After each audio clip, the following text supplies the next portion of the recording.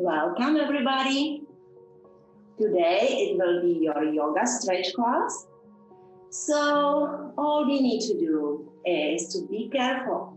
Careful about how we align. So, the proper form is always the most important part of your practice, plus the breathing, of course.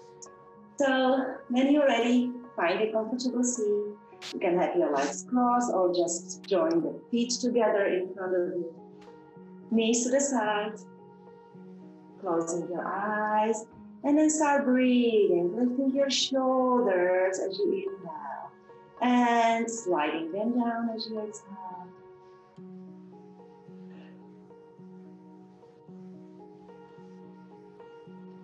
Slowing down the fluctuation of your mind. Just concentrate on being within your body and with your breath. Reverse those circles.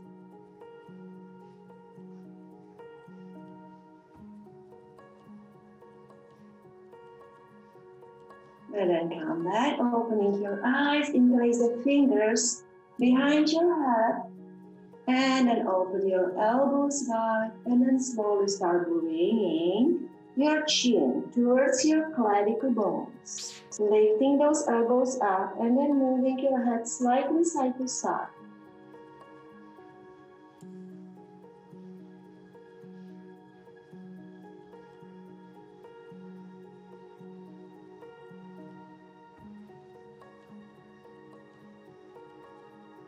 and then come back to the center, look down and bring your elbows in. And then slowly lift those elbows up. Keep going. And lift. And exhale as you bring them down. And inhale, open. And then start moving, adding your spine. So round everything in like in a cat cow stretch bringing those elbows together. And then inhale, lift those elbows and lift your tailbone up, into the chest. And go slowly. And lift. And again. And up. And down. And then last time. Stay open. Keep lengthening through the, through the sides of your waist. Your spine is long and straight. And then slowly turn to one side. And then come back to the center and turn to that opposite side. Keep going, using your breath to lead you.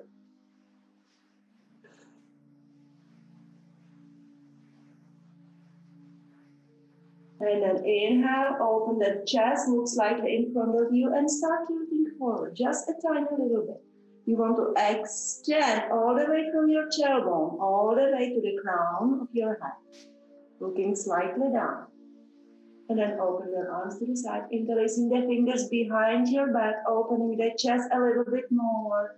And then come a little lower as you look down. Maybe you'll be able to bring your head down.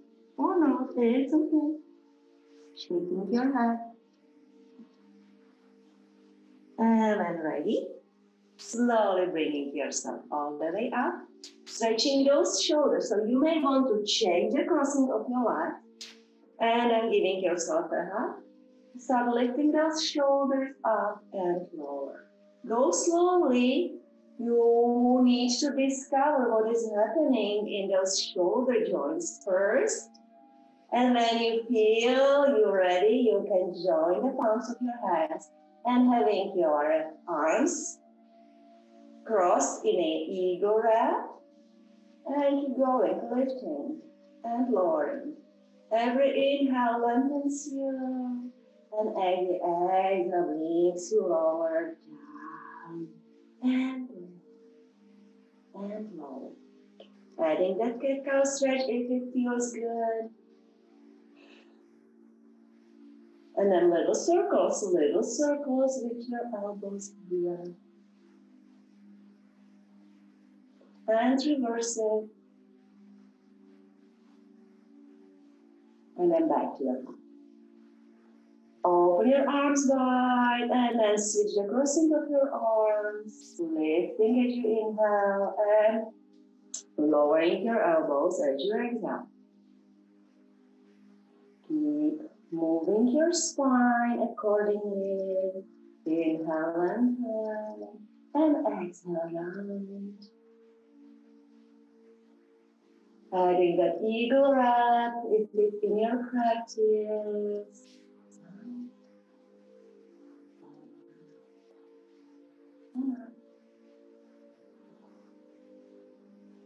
Little circles, those elbows, very small, tiny little movements, making sure everything feels good, and then reversing.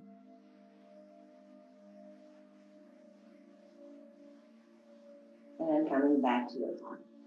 Interlacing the fingers in front of you, pressing up with the palms of your hands, and then opening your arms overhead. And then take it to your little side bend. You really want to press down with your opposite sitting bone as you extend, feeling a nice stretch all the way from your hip, all the way to the sides of your waist and of upper body and your arms. All the way, all the way to your legs. And then come back and slip. Your chest stays open. Both shoulders are in one line, one plane. And then come back. And then slowly roll those shoulders back. Easy cat cow stretch here. And inhale. And exhale. And inhale. And exhale. And out. And then come back to the center and then slowly bring your feet together. Your feet are together, joining the soles of your feet and the knees are apart. Try to bring your heels a little closer to your hips or to your seat and then slowly inhale. Inhale and lengthen and then tilt forward. And then bring those elbows in front of your shins. If it's not available to you, you can make your hands and just hold your shins with your hands. It will help you to use it as a leverage to open and extend from your tailbone all the way to the crown of your head. And then slowly keep going, keep going. Keep tilting forward, tilting forward, extending. And when you think that you have reached your destination, just look down and drop your head. Drop your head and stay.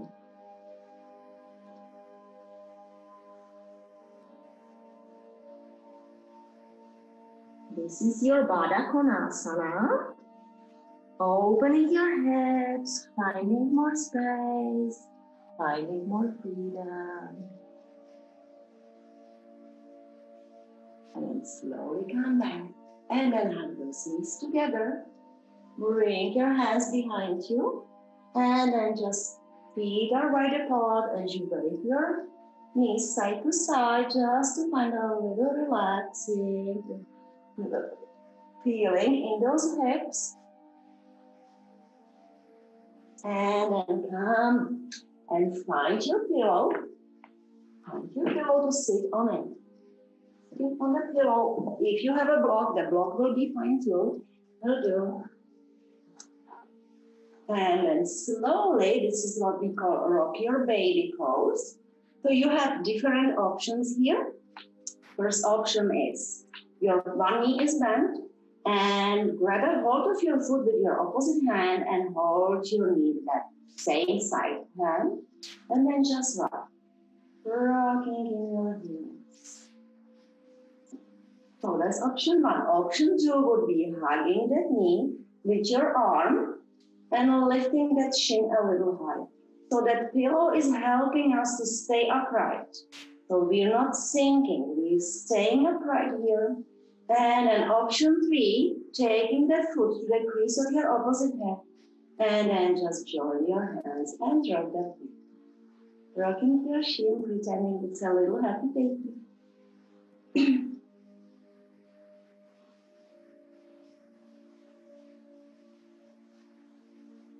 When you're ready, hold that foot up. Carefully place your heel to that crease of your opposite hip and support your knee. Support your knee. So you don't want to take that knee down right away. Just see what happens. Maybe it will be enough to stay here and find new horizons, new space in your head. And then slowly allow the gravity to take that knee down. If it allows it, if it doesn't allow it, don't force it. So that's your half lotus pose. And you may feel a little tension in your head, coming all the way from your head towards your front thigh muscles and towards your knee. So you may want to help it by taking your hand and slide it down, telling yourself everything's fine.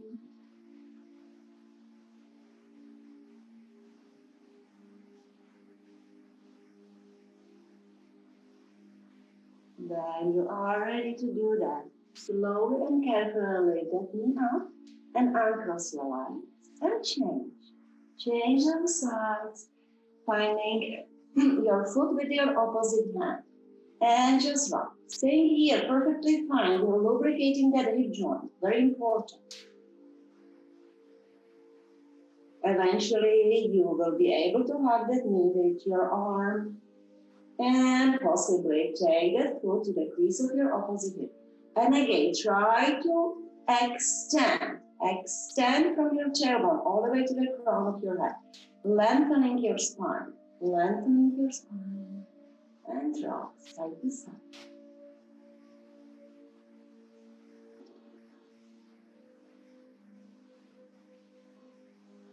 Holding that heel up, placing it to the crease of your opposite hip and supporting your knee as it slowly falls down on its own using only the gravity, no pressing. You're just sliding your hand from your hip all the way towards your knee. And again, try to extend. So you make to put an extra attention into extending, extending, and lengthening your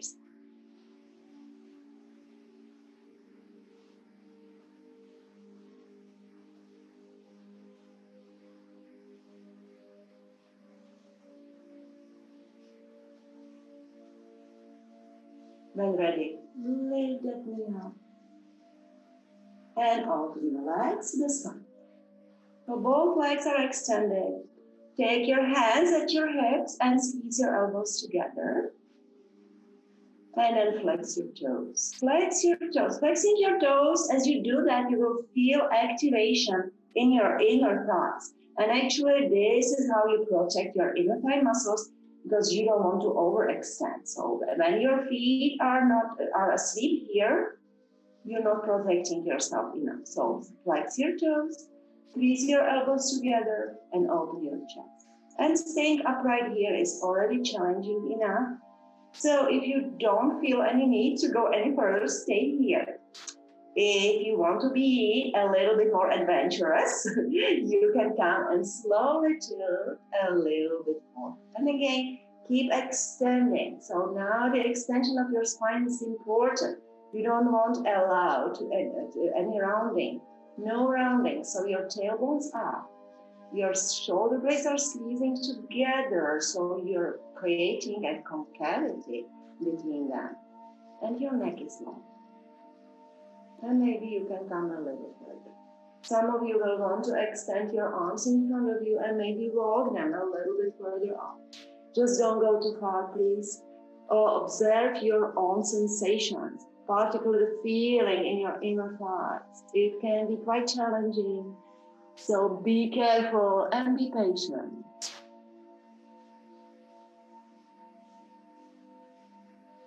You can also use your forearms to support yourself.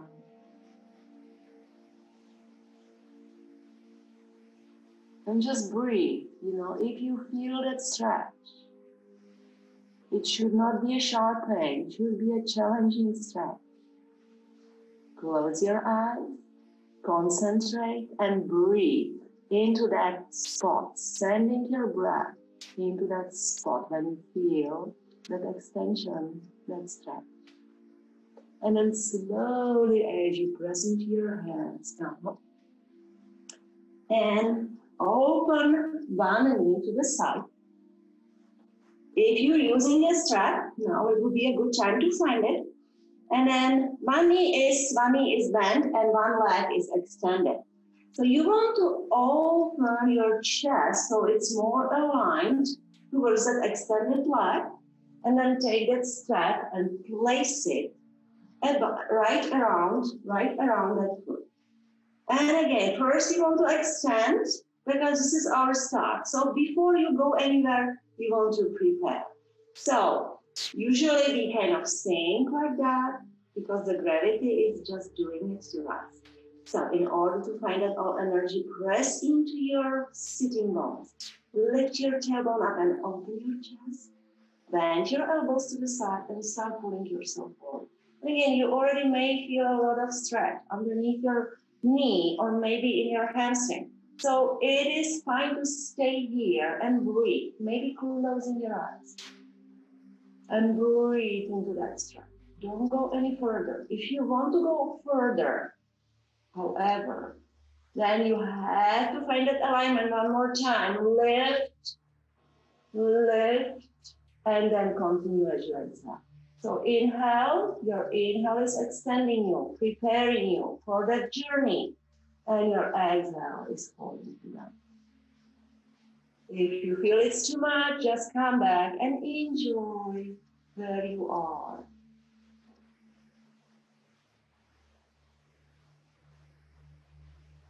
And slowly come and switch. So one leg's extended, your upper body is adjusting. So you're turning your upper body to be more aligned with your extended leg. And then again, prepare first, prepare. And maybe stay. Inhale, lengthen, and exhale. See if you can pull yourself a little bit more forward towards that extended leg. If not, stay. And again, be patient. Think about arriving to a new destination. So first you need to find out if you like it there. Also, you have to find out if you like it there so much that you want to explore further. And if you do, don't forget to extend first as you inhale and then exhale.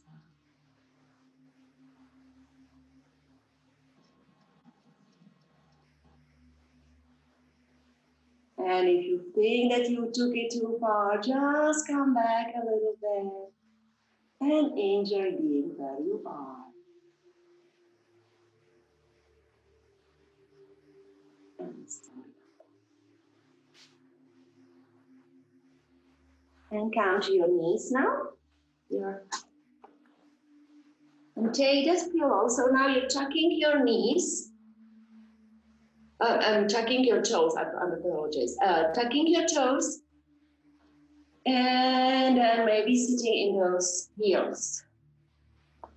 If it's too much, uh, too much for you, you may find it helpful to use your pillow to sit on a pillow. Stretching those big toes, I know it's challenging.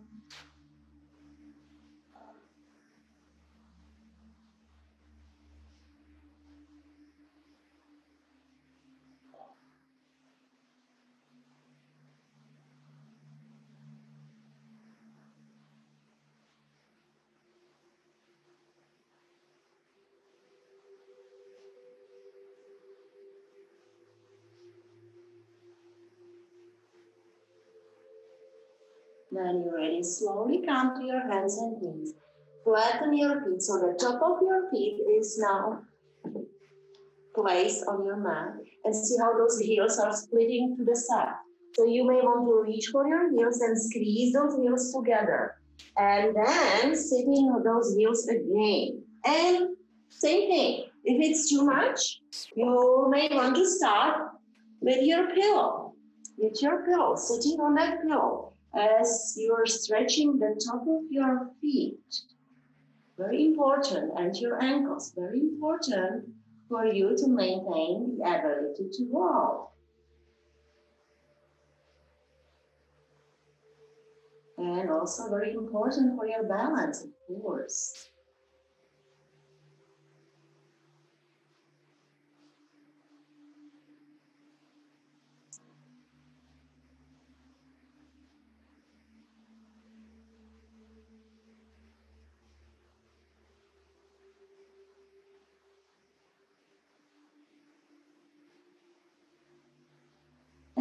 Ready, slowly count your hands and knees.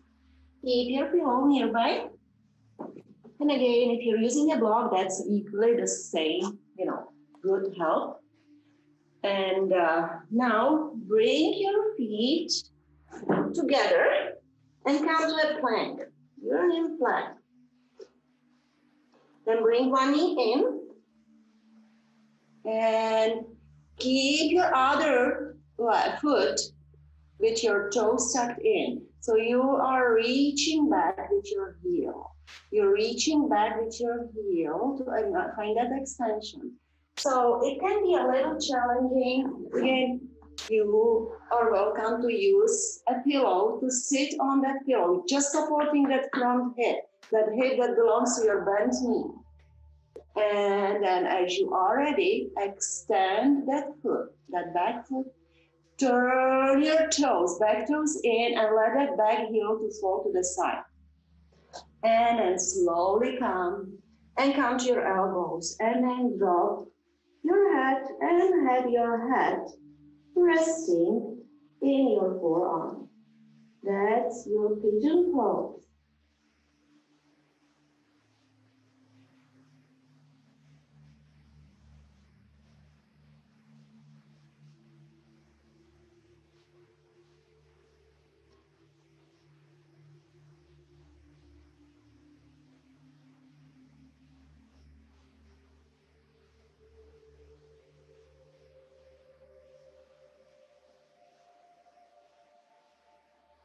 Pressing into your hands, come all the way up, and take that foot into low lunge. Same foot, same foot. We're in low lunge here. And then slowly drop your knee down. The back knee goes down. And then drag that front hip back and flex your front toes. And as you drag the hip back, take that hip back, only that front hip back to align and then bring your head down. That's your half split. Ardha Hanumasana, Ardha Hanumasana, half split pose.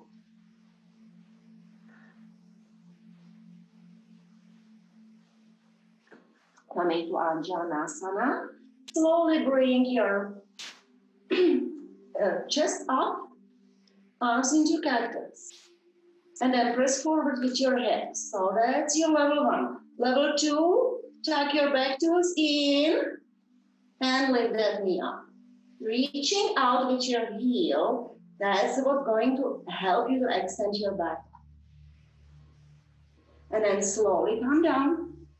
Stay in that low lunge. Take your hands from the inside of your front foot and stay here. You can drop your hips a little bit more if it's available to you. And if it's even more available, you can come to your elbows, coming to your lizard pose.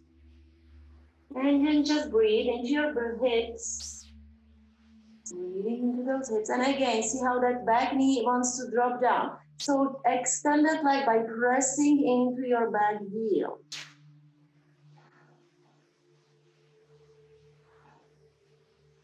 And then as you press into your feet, come back and come back to plank, holding that plank just for a little bit.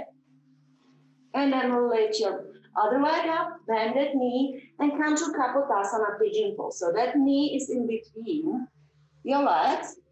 Again, using your pillow if you need it to support your head.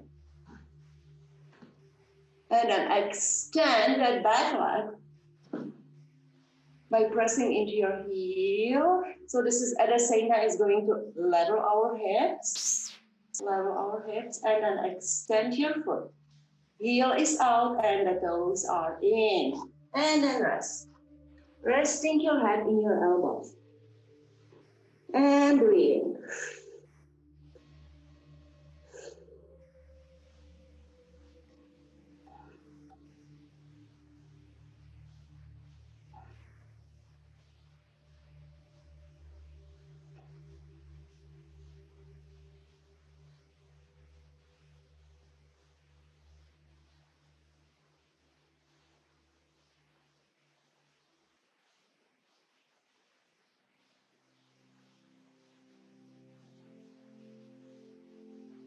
Pressing into your hands. Come up. Take that front foot into low lunge. And then bend your knee. And take it to that uh, half split, Ardha Hanumasana. Lifting your toes and then dragging that back hip, or that front hip, sorry, front hip back, front hip back. So your front hip goes back, and you can drop your head towards your knee.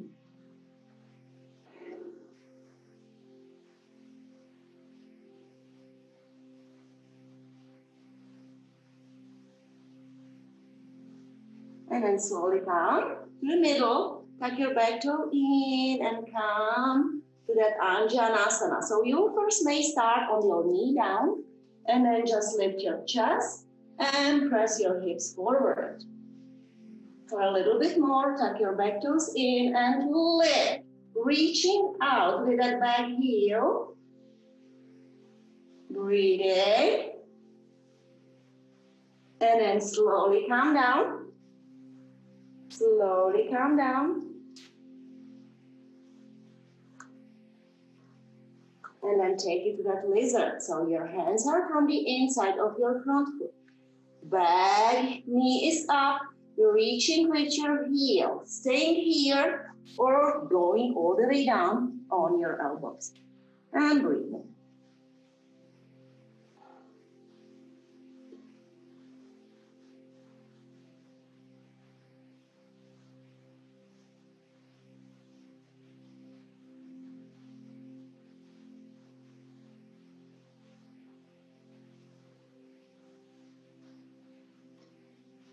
And then slowly, as you press into your hands, down to plank. And then from plank, take it all the way down to your knees. And child's pose. Dropping your head, staying in a child's pose.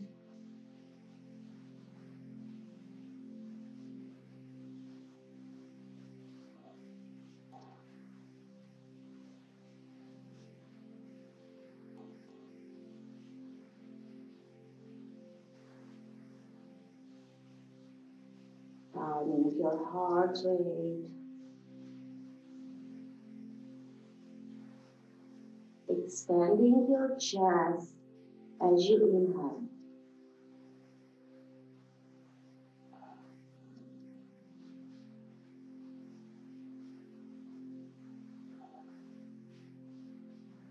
And slowly bring yourself up to find a comfortable seat.